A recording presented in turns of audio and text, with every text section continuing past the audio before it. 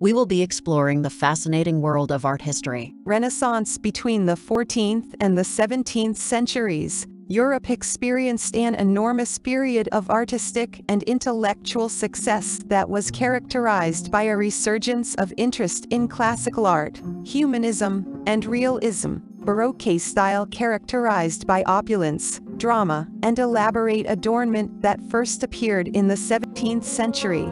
Extensive detail, vivid light and shadow, and a sense of motion were its defining features. Impressionism was a late 19th century art movement that had its beginnings in France. It focused on using fluid brush strokes to convey a feeling of movement and capturing the immediate perception of a scene, frequently in natural light. Cubism Georges Braque and Pablo Picasso's art movement in the early 20th century that rejected conventional shapes in favor of presenting several viewpoints at once and resulted in the production of abstract, fragmented works. Surrealism was a 1920s and 1930s art movement that was distinguished by irrational and hallucinatory works that frequently questioned uniformity and reason.